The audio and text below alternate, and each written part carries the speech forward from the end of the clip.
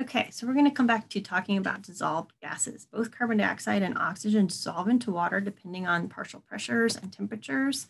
Um, groundwater tends to have high dissolved CO2 and low dissolved oxygen, partly because of a lot of root and microbial respiration in soils. In turbulent streams, both are tend to be maintained at or near saturation. And when oxygen is present, redox values are high and you have an oxidizing environment. Metabolic activities, diffusion, temperature, and proximity to the atmosphere can all influence dissolved oxygen concentrations. And sometimes it's measured in milligrams per liter, and sometimes it's measured as a percent saturation. Percent saturation is the concentration of oxygen relative to the maximum equilibrium concentration for that solution.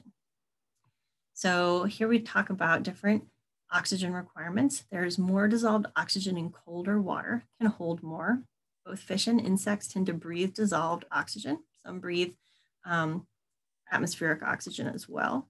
Aquatic plants use oxygen and algae uses oxygen to respire just like we do. They breathe in oxygen and breathe out CO2, just like respiration. Um, and then wind and plants through photosynthesis can both introduce oxygen into the water through photosynthesis. Oxygen and water can exceed 100% saturation. It can either stay dissolved in a supersaturated state or it can form bubbles. Um, and it tend to, salmon tend to prefer dissolved oxygen concentrations of greater than 11 milligrams per liter. So you can see the different tolerance values for different fish species on the right. An oxic or an aerobic environment has plentiful oxygen. An anaerobic or an anoxic environment has no oxygen. So those terms are all or synonyms. This is an interesting figure from the book, and it shows you how dissolved oxygen increases with, with uh, actually decreases with increasing altitude, so um, elevation, and how it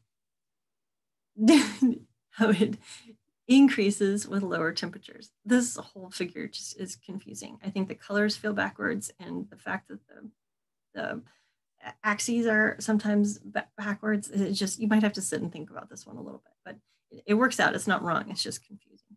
Okay. Many lakes show seasonal patterns in a lot of these different factors. So in temperature, in oxygen, in redox potential, and in total iron. Um, so the panels at right show changes through time on the x-axis and depth on the y-axis. And you can see how in the summertime, the you know water warms up mainly near the surface. Um, you can see changes in oxygen concentrations, um, mostly getting higher in the surface water. Um, you can see redox potentials, and you can see total iron. And the iron um, sometimes, you know, as redox potentials increase, then things like iron oxidation can take. So I talked about photosynthesis being one of these factors that are that goes against redox potential. So light, temperature, and nutrients all control photosynthetic rates. Um, the story is about carbon, carbon fixation, but it's often easier in aquatic systems to measure oxygen production because that's correlated with photosynthesis. So photosynthesis contributes oxygen to aquatic ecosystems, and then we measure that oxygen. Things like clouds, vegetation, waves on the surface of the water can all decrease light availability and decrease photosynthesis. And organisms can alter their physiology, they can acclimate to different conditions to maximize photosynthesis. Some algae can synthesize carotenoids or red pigments to protect themselves from high light. And then those algae, if they're eaten by zooplankton um, and then by fish, can give color, those pink and red colors to things like salmon, flesh, and flamingos. So these are just some figures that show the, the um, photosynthesis irradiance diagrams. So they show the effects of light on photosynthesis rate. So in general, the photosynthetic rate increases as light increases. Okay, so that's why it's going up. But then it shows um, P max, so maximum photosynthesis rate. So after the peak, more light can actually cause photoinhibition and photosynthesis will go down.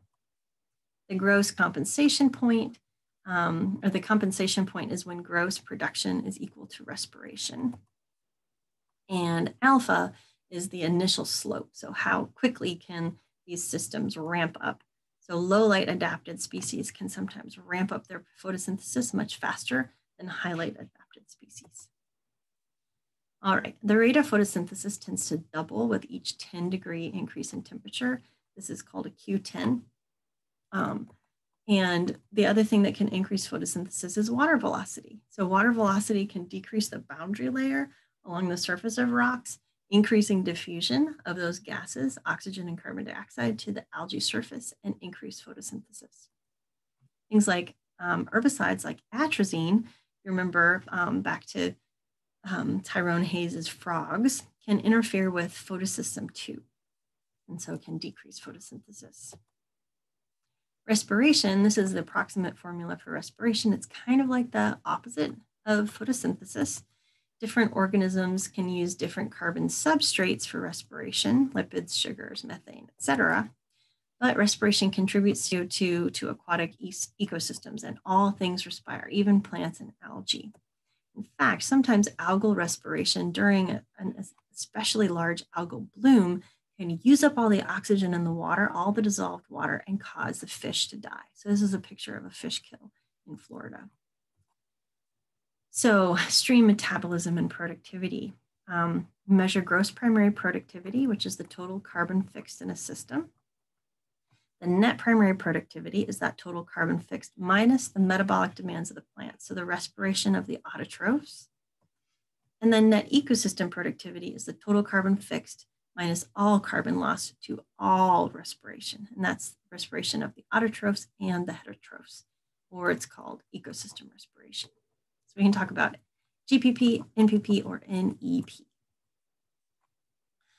Okay, so real fast, we can talk about lakes. Um, we can talk about limnology. We're not dealing with lakes much in this program, but um, lake water varies by depth and seasonal mixing can happen. So this is a picture showing thermal stratification, where it gets warm in the summer at the top, but it stays cool in the bottom. And this, this graph of temperature shows the thermocline, a, a rapid change in temperature. Now, um, the thermocline can get set up in the summer, um, and it can get set up in the winter when there's ice on top. But in the spring and the fall, the thermocline disappears and lakes go through what's called a mixing period. Some lakes mix twice a year in the spring and the fall, some lakes that don't ice over in the winter only mix once, basically in the kind of like fall, winter, spring, and then they set up a thermocline in the summer. And some lakes don't mix at all. So here's some clines in lakes. The thermocline shown with um, temperature in the dotted line, a chemocline shown with oxygen. Um, there are other chemoclines that you can measure. Um, the hypolimnion, which is the bottom layer, can turn anoxic in lakes, lots, uh, no, not much oxygen. Um, and we can see similar patterns in the sediment in stream bottoms. And so the top panel is showing the patterns in a lake going down and the bottom, like over many, many meters.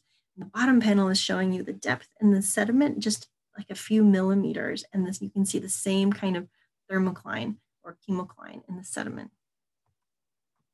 Here's some pictures of some meromictic lakes, meaning lakes that never mix. Um, they are also called amictic. And what can happen is they can set up these really extreme chemoclines where you have these pools of fossil water at the bottom that never mix with the rest of the water, like in Soap Lake in Washington. Some really strange chemoclines out there. Um, and there are bacteria that live on these chemocline gradients, um, doing things like sulfur reduction and, um, and things like that. We have several of these um, meromictic lakes in eastern Washington. Um, lake Tanganyika is one of the biggest lakes in the world in Africa. It's a rift lake and it's really, really deep and it doesn't mix completely. And then Pink Lake in Australia is another example. All right, so how do organisms deal with anoxic conditions? Um, wetland plants have some really cool adaptations. These water lilies can uptake oxygen into new leaves, transport it down to the roots, and then send it up into older leaves. Okay, so they can really move oxygen around. They can also oxidize the rhizosphere. And if you dig into a pond, you might find deposits of iron oxide, rust, right, found around the rooting zone because of these leaky roots that are leaking oxygen. Another adaptation is parenchyma. These are air channels and roots that allow for the passage of gases easily among locations. Um, lacunae are also words for air spaces. They allow the transport of oxygen down, but they also allow the transport of methane up. And so there's both passive and pressurized transport of these gases in these um, macrophytes. And the last thing is if your roots are always underwater, you might need to get them above water to um, breathe. And so mangroves send up pneumatophores and cypress send up these things called knees. They both get their roots up above the surface of the water to allow them to respire. Some plants can respire anaerobically through anoxic periods by producing ethanol, things like Peltandra and Typha. And these dead plant stalks can, um, they can use them to transport oxygen. It's called Venturi flow. So even after they're dead, they can still help to support the rest of the plant um, community. And some of these plants can take up bicarbonate instead of dissolved CO2 if dissolved CO2 becomes too rare. There are some other adaptations to anoxia in animals. Some fish can gulp air when dissolved oxygen levels are low, like this air, this air gulping gar. Some fish can get up and go between pools, so like this walking catfish. And things like lungfish can curl up and wait in these nests um, in the sediment that they coat with mucus um, until conditions are better for them. And then there are things like respiratory tubes and insects and air bubbles. Okay, and take a break.